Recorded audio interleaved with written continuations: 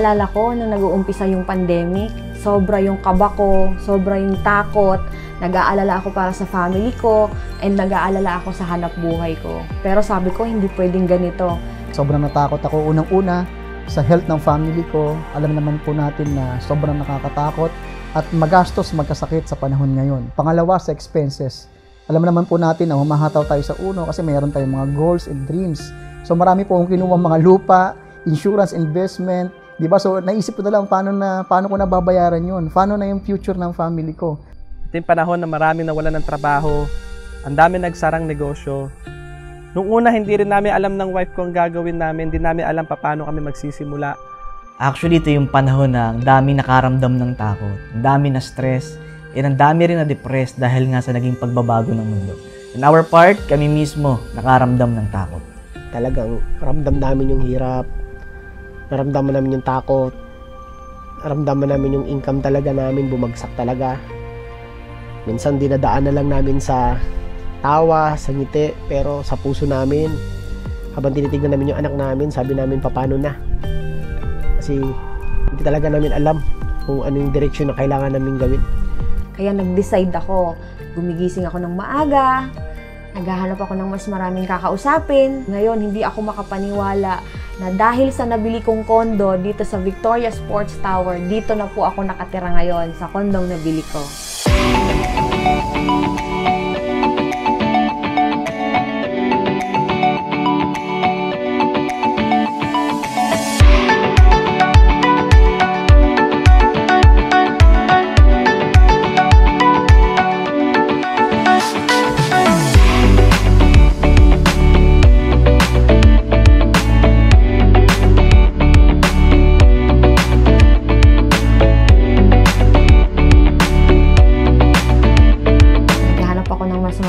tutulungan, kaya after 2 months, doon ako kumita ng isang milyon.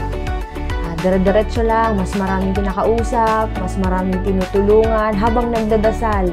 After 1 month, doon ko po nabili yung aking third car.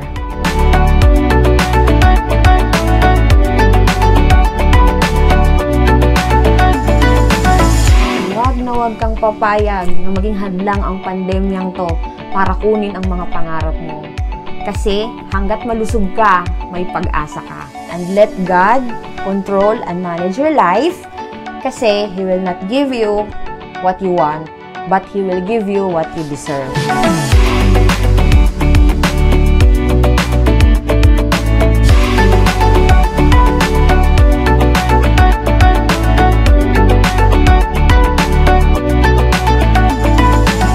Buti na lang, yung company natin may tamang sistema na ginagawa through online na kailangan mong hatawin at trabahuhin na lang. Talagang sinunod namin yung sistema through online kaya ito na po ang resulta ko ngayon.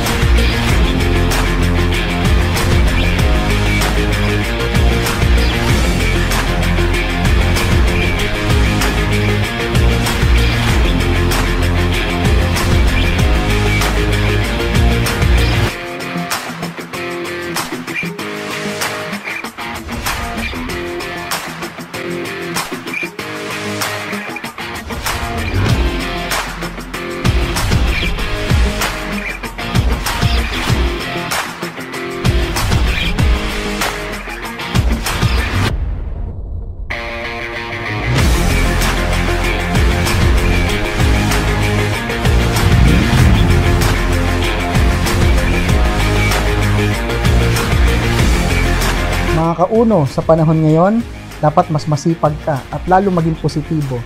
'Di ba? Tandaan nyo, ang hirap nasa utak lang. Sa negosyo pong ginagawa natin, importante na maging consistent ka sa lahat ng bagay na pwede ma-develop ang skills mo, ang knowledge mo, at dapat sinusunod mo lagi ang sistema ng company natin. At pag nagawa mo yan, sigurado sigurado ang pagkita mo dito sa ulo.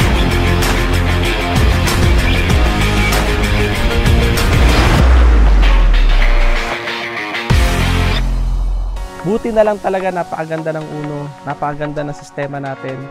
Buti na lang lumabang kami, nagtuloy kami.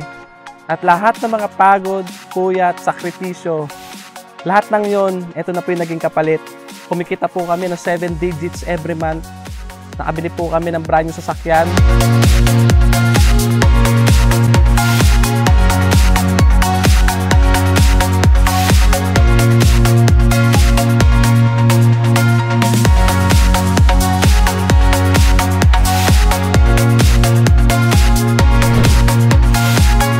Nakabili po kami ngayon ng property na overlooking dito sa Amiya Raya.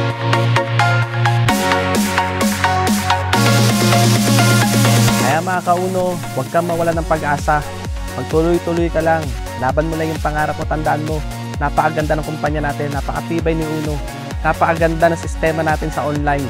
Kaya kung ano yung nangyari sa amin, tandaan mo, pwedeng, pwedeng, pwede ring mangyari sa'yo.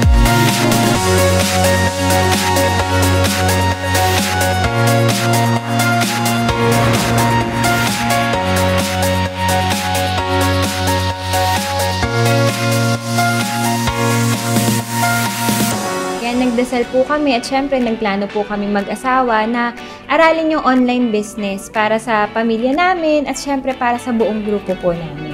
Yes, at naisip namin na ito din yung mas tamang panahon para mas lalong bumangon para sa pamilya at grupo namin.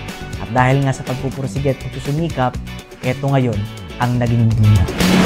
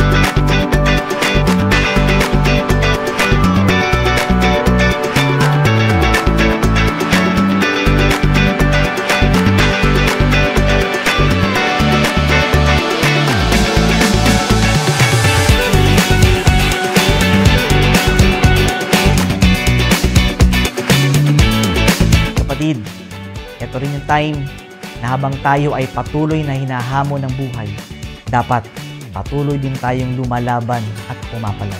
Palagi mo tatandaan na tayo ay nakasandal sa pinakamatibay at pinakamatatag na numero unong negosyo ng bayan. Uno.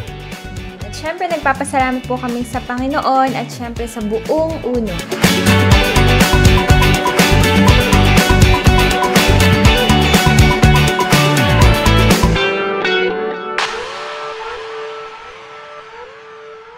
Nagpapasalamat ako sa asawa ko kasi natutulog ako noon, alas 3 ng madaling araw, ginising niya ako. May sinabi siya sa akin. Ano yung sinabi mo sa akin nun, mami? Ayun, um, praise God. Kasi nung time na yun na, sobrang kita ko talaga ng pangilaan siya. And sabi ko, ah, Dad, um, bangon ka lang ulit. Um, kailangan ka ng grupo. Um, kailangan ka ng mga anak mo.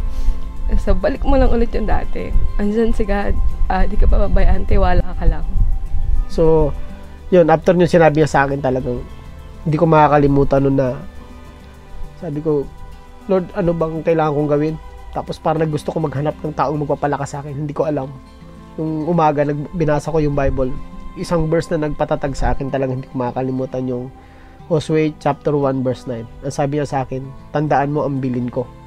Magpakatatag ka at tibayan mo yung loob. Huwag kang matatakot o mawalan ng pag-asa. Ako si Yahweh ang iyong Diyos. Saan ka man pumunta, sasamahan kita. So parang pakiramdam ko, hinawakan niya yung kamay ko na parang tumawid ka sa pagsubok na to. So, after nung kinabukasan talaga, talagang bumangon ako. At bumangon uli yung dating Ray.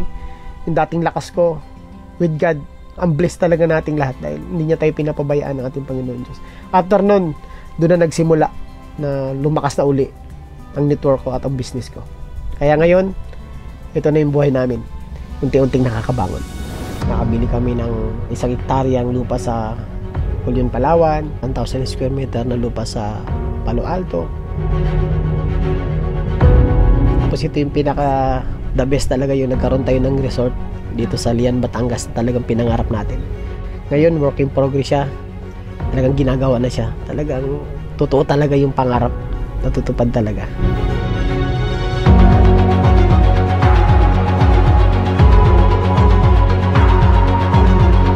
So, pag tinabaho mo siya, tapos hiningi mo kay God, talagang mabilis eh. Ma- alam mo yun, madali siyang gawin, magaan, masaya. And magugulat ka na yung inaasal mong isa lang na, Lord, resort lang, isa lang yung nasa isip namin, pero grabe, ang dami niyang binigay. Pitong property ang nabili namin na hindi namin nagawa sa normal na apat na taon. Dito sa new normal, 7 months lang.